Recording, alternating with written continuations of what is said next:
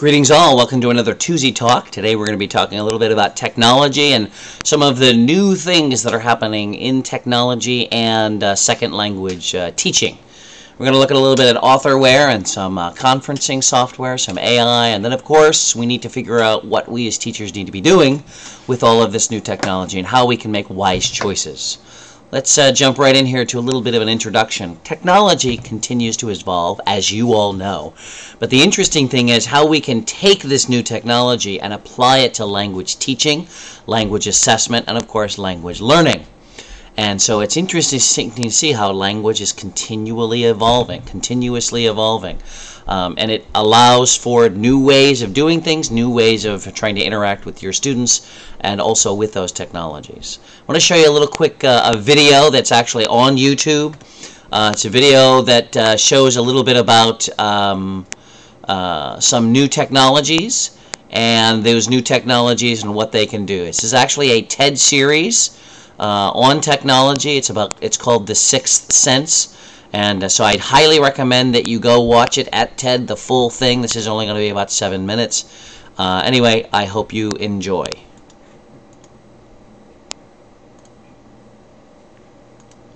Maybe not.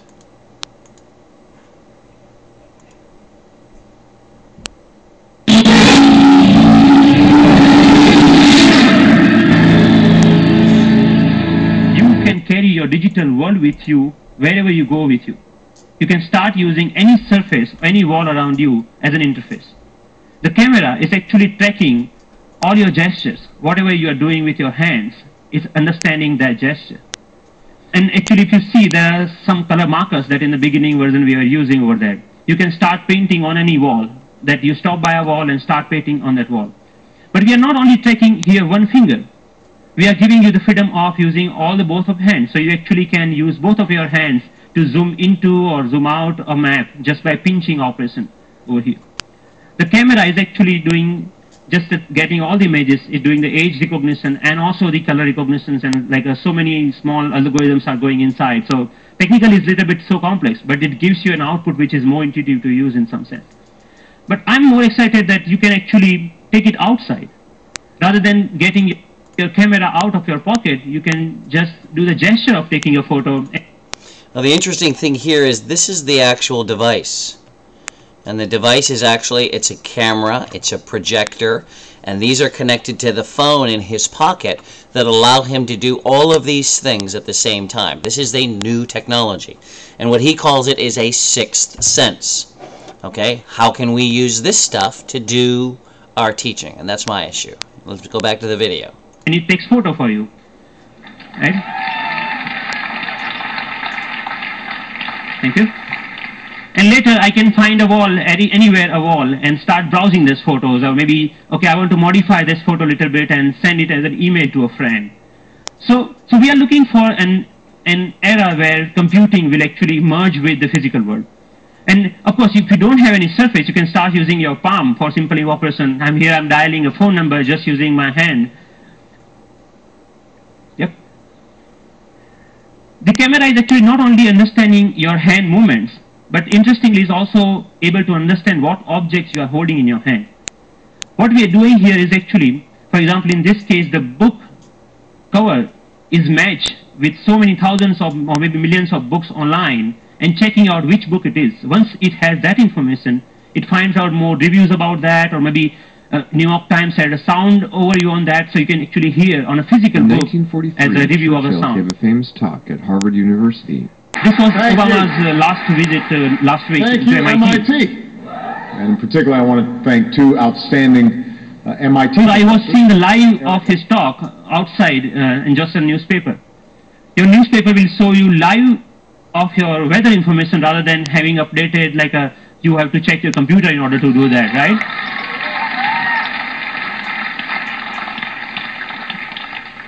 When I'm going back, uh, I can just use my boarding pass and to check, uh, oh, my flight has been how much delayed. Because at that particular time, I'm not feeling of opening my iPhone and checking out a particular icon. And I think this technology will not only change the way, yes, it will change the way we interact with people also, not only the physical world. The fun part is like I'm going to Boston Metro and playing Pong game inside the train on, on the ground, right?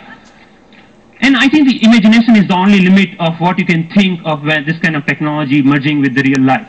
But many of you argue actually that all of our work is not only about physical objects. We actually do all lots of uh, accounting and paper editing and all this kind of thing. What about that? And many of you are actually excited about the next generation tablet computers to come out in the market. So rather than waiting for that, I actually made my own um, and just using a piece of paper. So what here I did is uh, remove the camera, all the cameras, webcam have a microphone inside that camera. I removed that microphone from that and then just pinch that, like I just make a clip out of that microphone and clip that to a piece of paper, any paper that you found around. So now this, the sound of the touch is exactly getting me when exactly I'm touching the paper. But the camera is actually tracking where my fingers are moving. You can of course watch movies. Good afternoon. My name is Russell, and I am a wilderness explorer in Tribe 54. And you can of course play games. Uh, here the camera is actually understanding how you're holding the paper and playing the car racing game.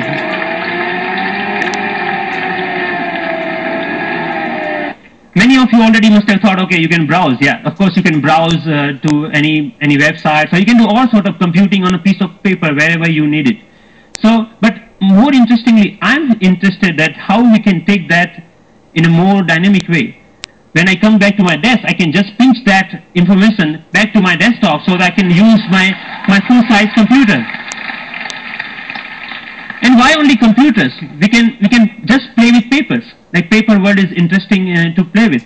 So here I'm taking a part of a document and putting over here the second part of a, from second place and I'm actually modifying the information that I have over there.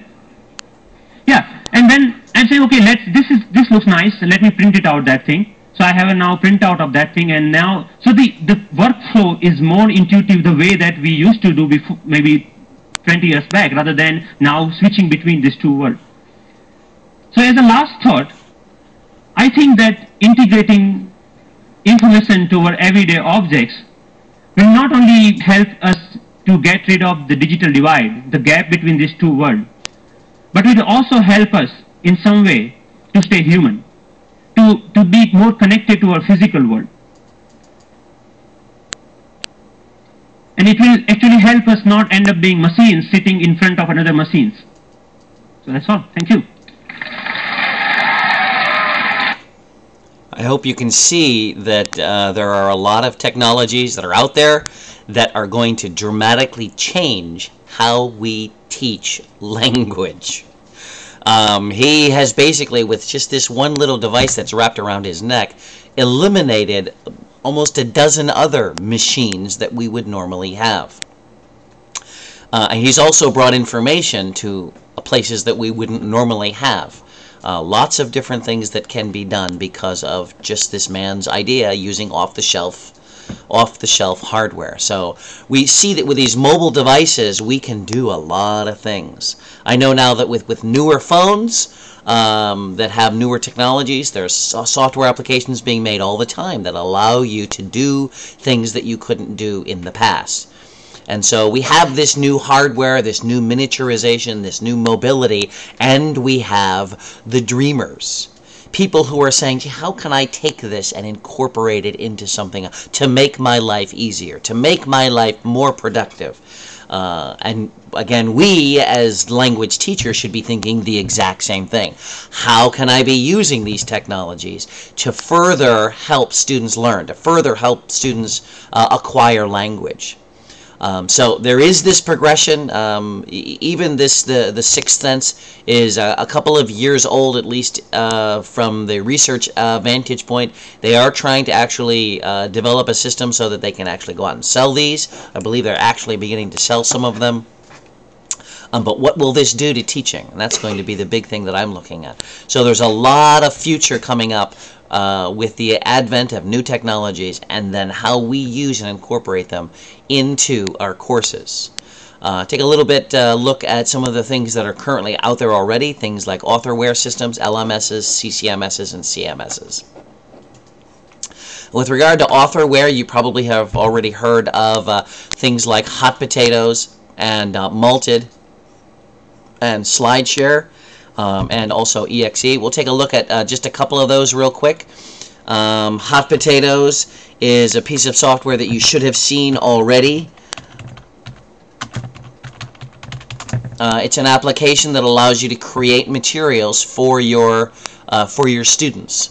It's downloadable. It is available on Mac, Windows, and Linux, and it allows you to create things like multiple choice questions, fill in the blanks, uh, matching, uh, cloze type of activities, and you can then make them, print them out, put them on a web page, um, and the like. So you have a lot of different things that you can do with um, with this particular piece of software. Now the nice thing about Hot Potatoes is because they're web accessible and they automatically check answers, uh, there's a lot that you can do with them. You can also add audio to them.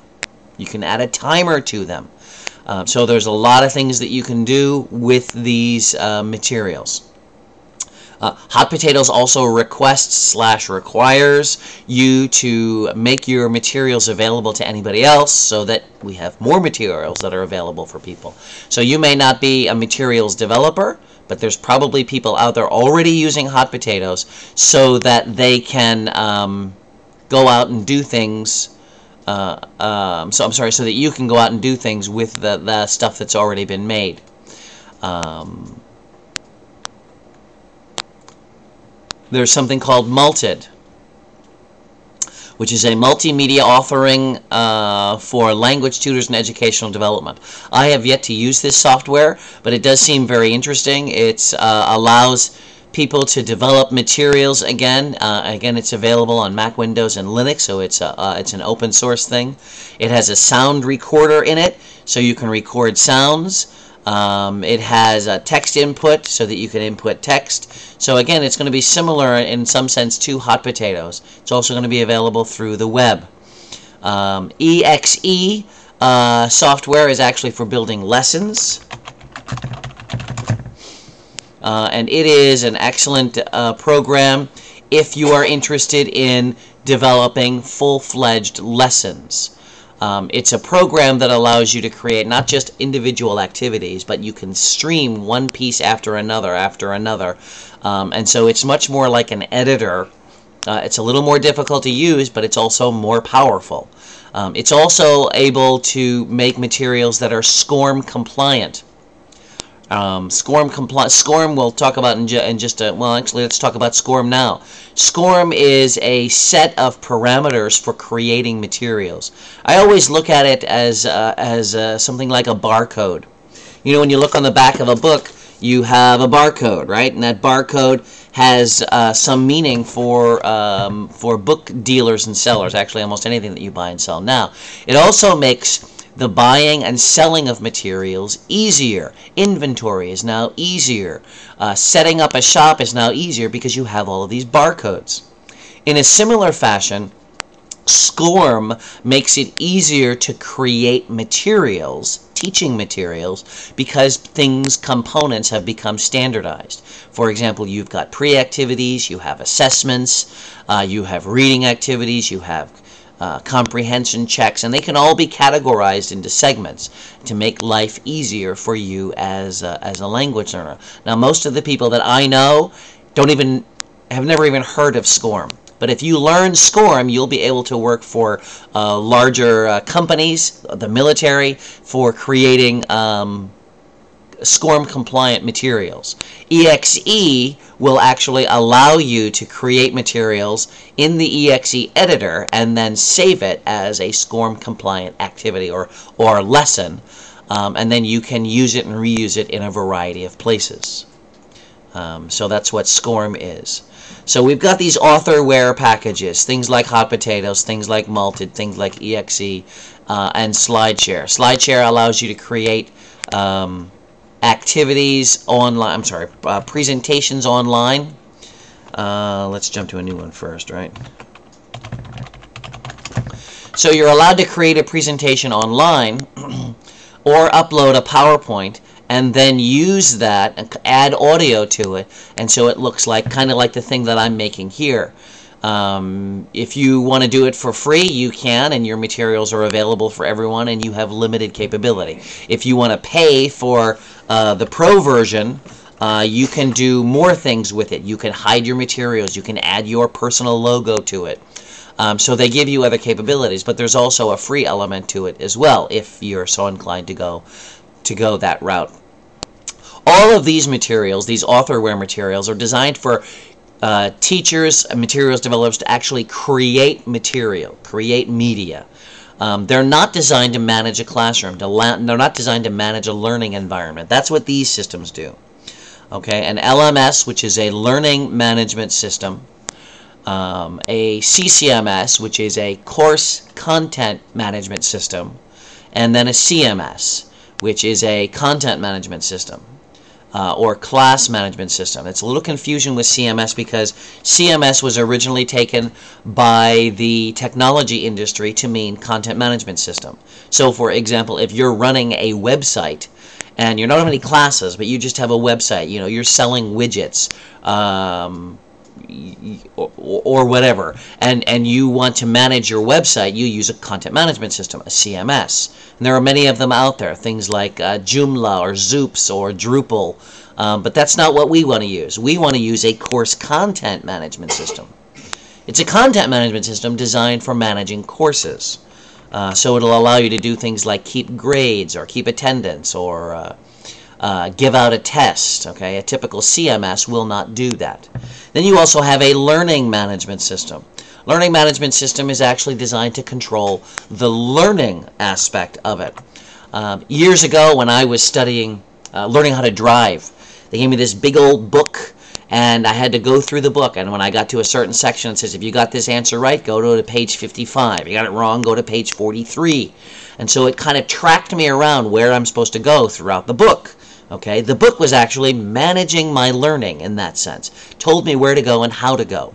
A learning management system is going to do something similar. You may have a long lesson that has seven or eight components in it, and you only get partially done with them, and you have to leave. Well, the system can save what you've done, save where you are in that learning activity, and then allow you to come back and finish it later. A typical course content management system won't allow you to go partially through an activity and then come back later typical course content management systems like WebCT or Blackboard, like Moodle, like Claroline or eTutor, uh, or these others allow you to manage your course.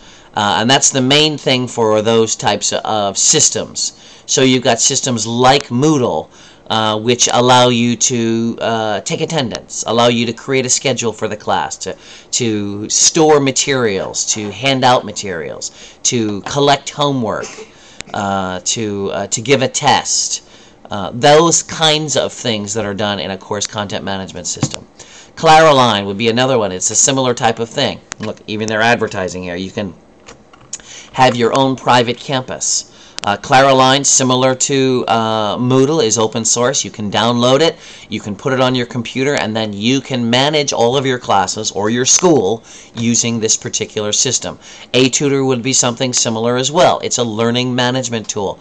Uh, actually, it's not a learning management tool, it's a course management tool. It allows you to uh, modify courses uh, and play with uh, all the things that I had mentioned earlier. So there are a number of those systems out there. By far the most popular open source system is Moodle. Um, but Claroline is also a good system. eTutor is a good system. I've actually used all three of them before. Um, so they're very good systems. Again, they allow you to do things like manage your courses, manage uh, attendance, uh, grades, uh, exams, uploading of papers and whatnot and of course it allows you to have access to a whole uh, plethora of different activities that uh, are built in or can be built into the system. One of the nice things, let me just jump off here, in, as far as Moodle and open source things, is that you have hundreds, nay I say thousands of people building these little modules that they think are beneficial. Uh, and if someone builds the module, they make it available to everybody else, and now we have more greater flexibility in the uh, uh, in the task of uh, teaching. Um, so these are content management systems, or more particularly, course content management systems. And again, they're going to allow you to control the course. Even a whole school could do this. Um, they're not necessarily learning management systems. Uh, learning management systems sometimes can be embedded within them.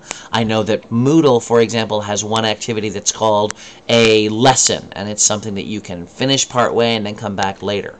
Uh, but that's not typical with the other systems. SCORM, we've already talked about. XML is another way of writing code so that you can create unique materials. And for at our level as teachers, uh, we're not going to be too interested in SCORM or XML simply because that's more of a programming type of language, and we don't want to necessarily delve into any of those. If you are interested in playing with something like SCORM, I would actually recommend you as teachers to go get EXE Learning and use this software to develop things because when you're done making whatever it is you're going to make there, you can save it as a SCORM compliant component and then you can use it at other places.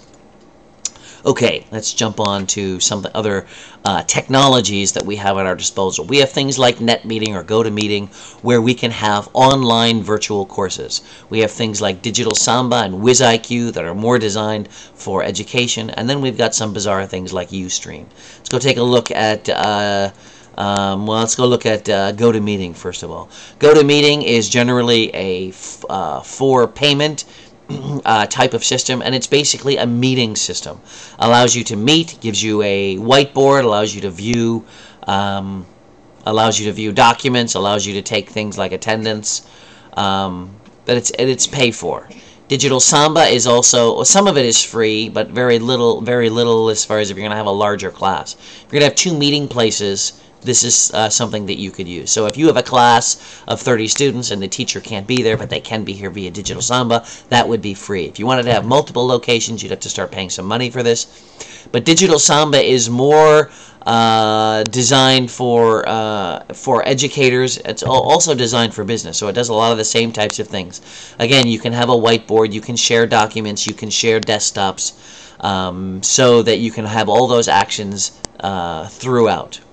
WizIQ now is an online uh, environment, but it is specifically designed for teachers uh, to do things that are online. And you can put your course here online. And again, I say you can do um, uh, you can do a lot of the same things that you've done uh, in the other systems, only they're designed for teachers and students. So you can share documents, you can give out little quizzes, uh, you can, uh, obviously you can chat, you can uh, share documents, you can share desktops. Um, but this is designed more for teachers. Uh, so you may want to go look out WizIQ. Interestingly enough, there's a, a module that's made for Moodle, okay, that is a WizIQ module. So if you have a class that's running Moodle and you want to jump out to WizIQ to have a live session, there's an actual module that connects Moodle uh, to WizIQ.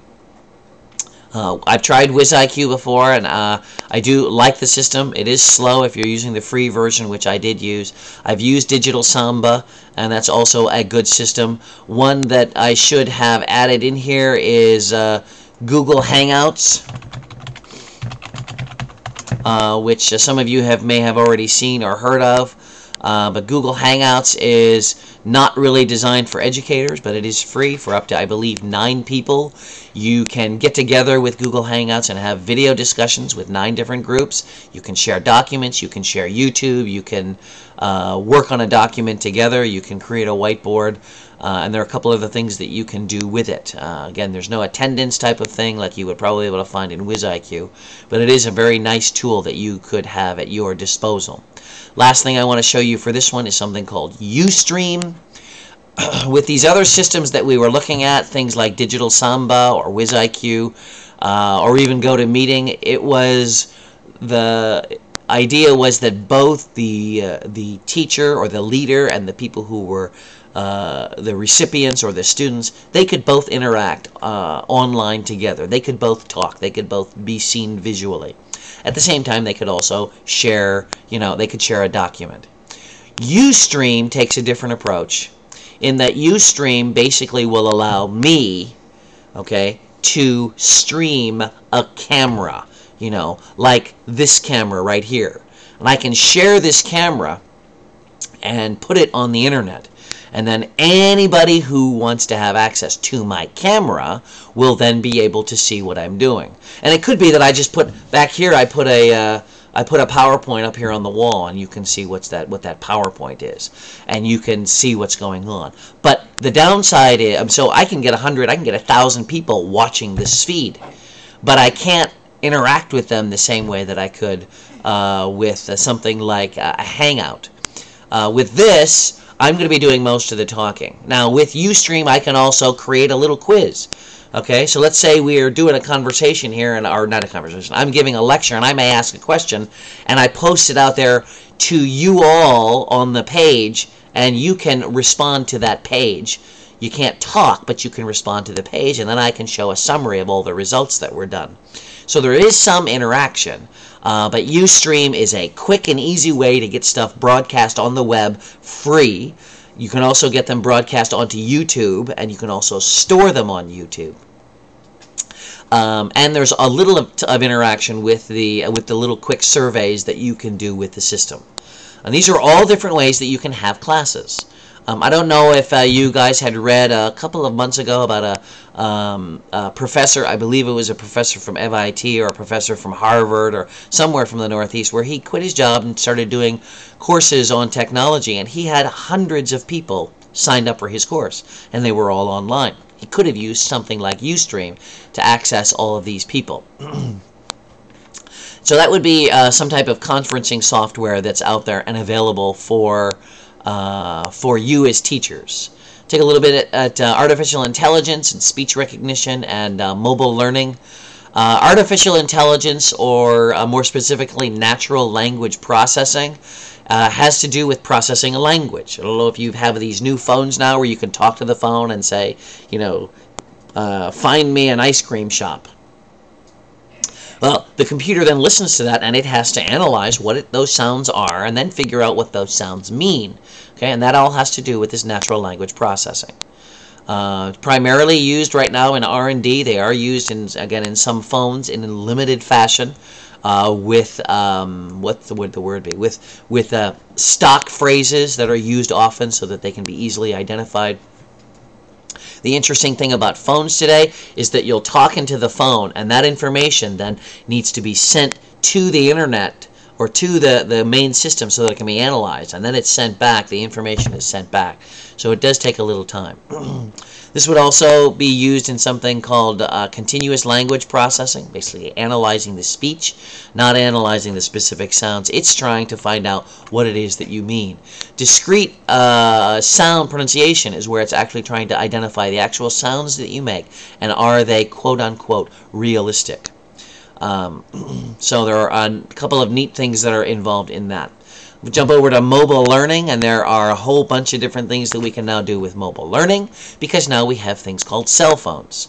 And we have these neat little uh, devices that are small enough to allow us to run around and, and see and do things. The, uh, the upside is their, is their uh, size. Uh, if you're dealing with a phone as well, the upside is going to be uh, that it's small and that it's portable. The downside for this is that uh, the screens are small. But we can do some types of interaction with it. some of these uh, phones and mobile systems have things like dictionaries and email and, and reading and vocab systems. Uh, and more and more applications are being designed so that they not only run on the web, but they also can run on your mobile device. There are also some teachers who are using it and they may take their phone, they may take their iPhone or their their Droid phone into class, and that's going to be their PowerPoint presentation system. They can hook that up to a projector and then do things with it. Uh, it's generally not something that can be used for in-depth uh, use, um, but if you're doing something light, like again, like a, a, a um, like a Google presentation file, you know, that's something that you could probably do with a phone or an iPad we're seeing more and more of this mobile device type of uh, learning capabilities.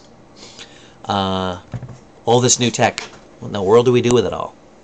All this new tech and how are we as teachers and administrators, how are we supposed to handle what we're going to be using? Uh, we want to make wise choices as teachers, as managers of money, and uh, acquire technologies uh, that are going to be best for our students, best for learning.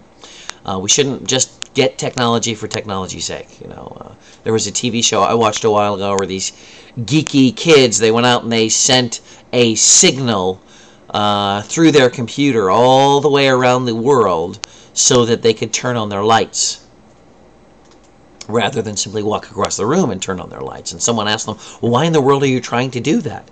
And the answer was, because we can. That's why we're trying to do that. That's why we're trying to send a signal around the earth to turn on our light.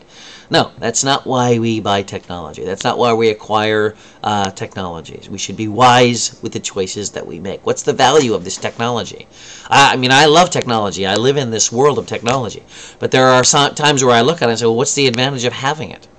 Is it going to be helpful to the learning process? Is it going to be helpful to the school? Is it going to be, uh, uh, is it, or is it just eye candy? Is it just fun? Is it just, uh, is it a non-learning thing? I don't want to buy those types of things.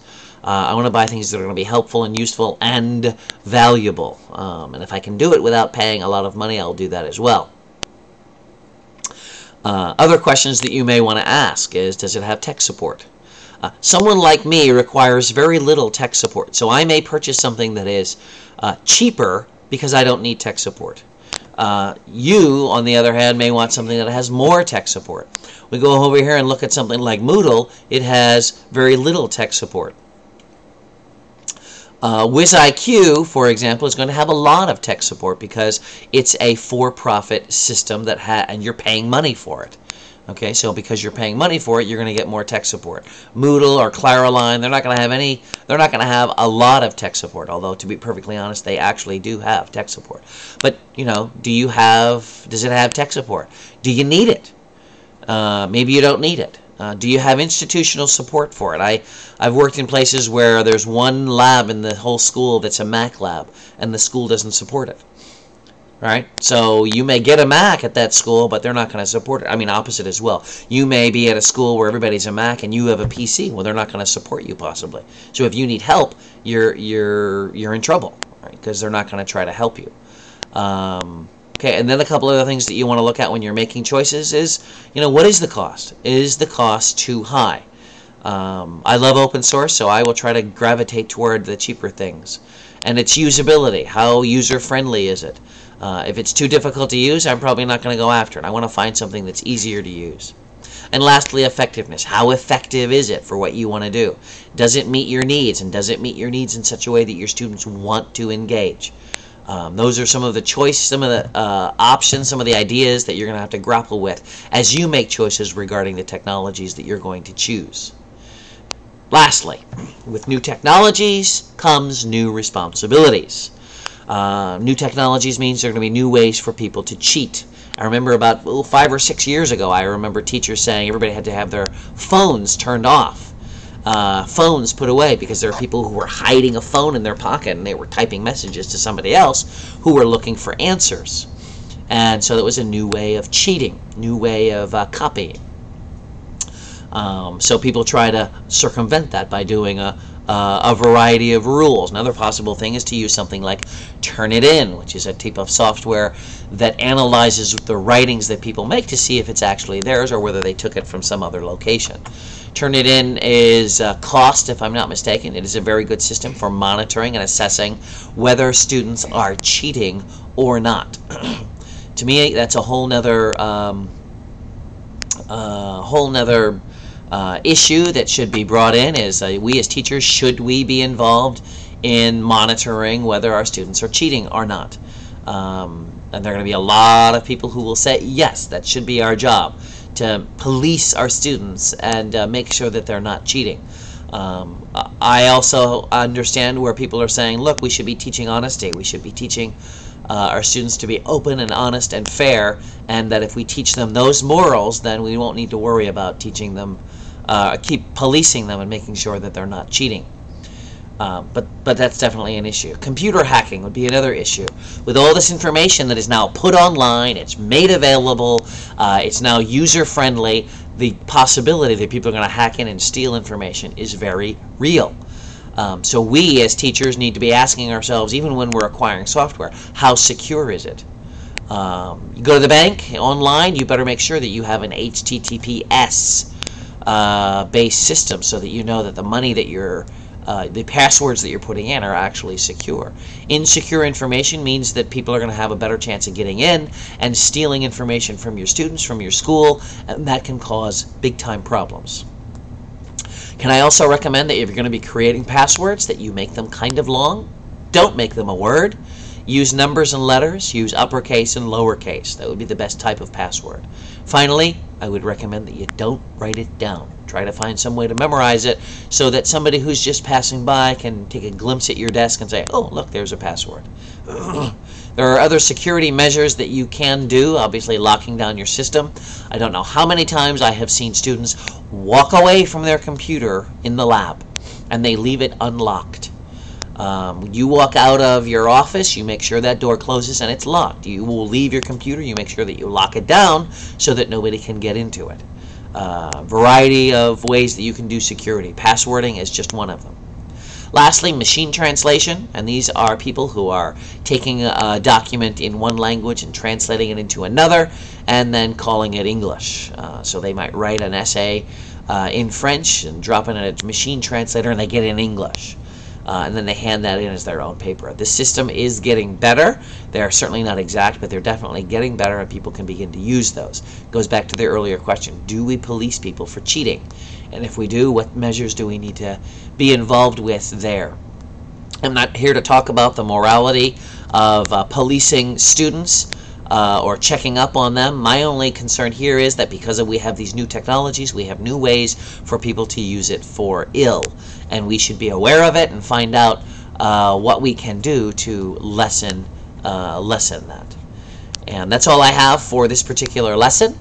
Uh, we were talking about some of these author, some of these uh, systems designed to help us create materials and manage materials, things like uh, Hot Potatoes and EXE, and some of the course content management systems like Moodle and Claroline. We also talked about some uh, speech recognition and some of the tools that were being used there. We talked about some protocols.